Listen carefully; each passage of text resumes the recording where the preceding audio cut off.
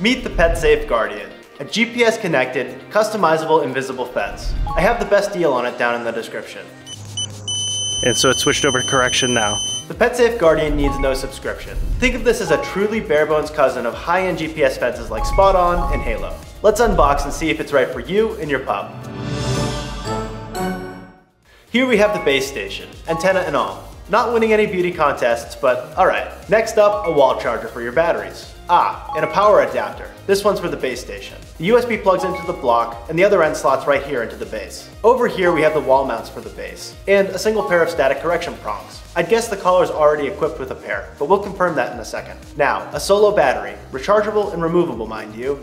Slide it in, twist, and lock it into place. Let's not forget the paperwork, warranty, quick start, and training guides. Time for the main event, the collar. Here's the PetSafe Guardian GPS dog collar.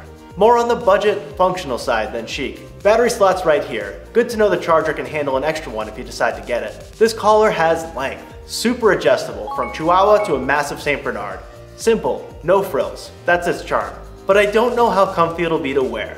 I'll put it on to test the durability in another video. Stay tuned for that. There's no clear leash loop, but it does indeed come with a pre-installed set of static correction prongs. Last but not least, this unmarked part right here seems to be the GPS antenna. So, to sum it up, the box comes with the base, the collar, a battery, a battery charger, a power adapter for the base, extra prongs, and wall mounts for the base. So here's the rundown. We'll set it up, check out the app, draw and customize a fence, and then we'll do a quick boundary test to make sure that the fence is working. They claim an hour or two for setup, but I breezed through it in about 15 minutes or so. Mounting the base of the wall might stretch that time though, depending on your DIY skills. Grab your quick start guide, scan the QR, and install the app. Not the highest rating, but we'll reserve judgment. Register with an email, go in and add your product. Choose Guardian GPS Fence.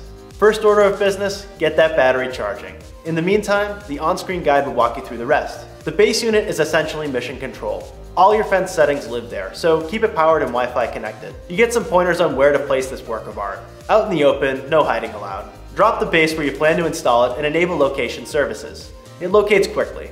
Plug it in, turn on Bluetooth, and just like that, your fence is recognized. Connect to Wi-Fi, and once it says the fence is active, give it a name. It says, go creative, go wild. So of course, I'm naming it Zach's Fence. Now, let's draw that fence. It's an app-only feature. No boundary walks like you get with SpotOn or Halo. Keep it at least 25 feet from risky zones or structures. We sketch it out on the app, which then syncs with the base. After that, it's pushed to the collar. You're locked into using at least four posts, and you can edit by going to Settings, Edit Fence. Not exactly a user-friendly path, but from there you can extend or redraw as needed. Slide in that charged battery into the collar, tighten it with a coin, and you'll see a green light. Keep the collar near the base and hit next. There's a little chime and voila, it's connected.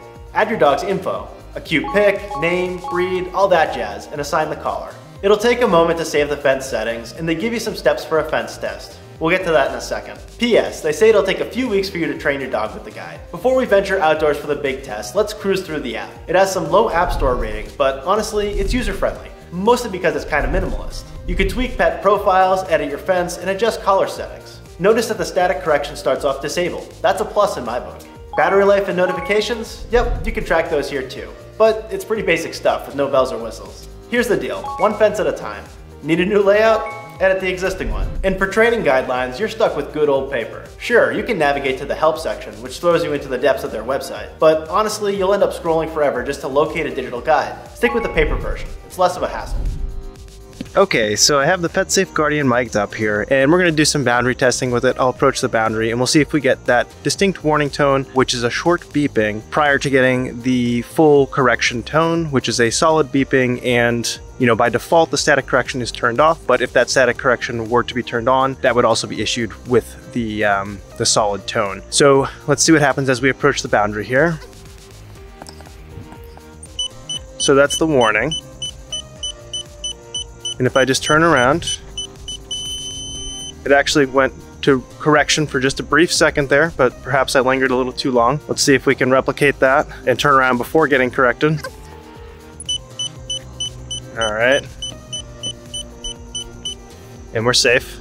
Wonderful. Now let's see what happens if we linger at the warning. Now if you do linger, it does switch over to correction. So let's see if that happens here.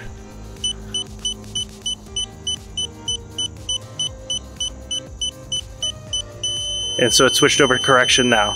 So let's enter back into the safe zone. And I will note that it does seem to be sort of issuing the warning in pretty much the exact same spot. I'm not even shaking the collar like some others do require. Let's see what happens if we continue past the boundary, if it shuts off.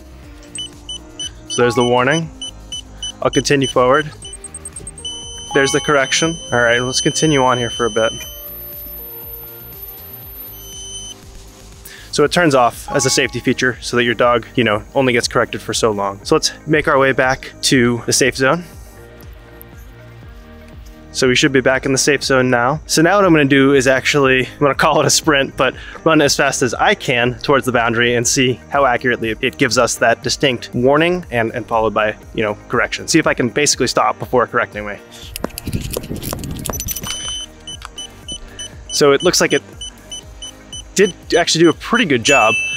Ooh, and now it's correcting and now it's nothing. When I tried to stop, it did correct for maybe a half a second or a second. Um, and then as I came back into the, the safe zone, it, it did, you know, switch, get, it did again issue that correction. So, you know, not flawless, but not terrible. Okay, I guess there's nothing left to do but for me to try this on. So here goes nothing.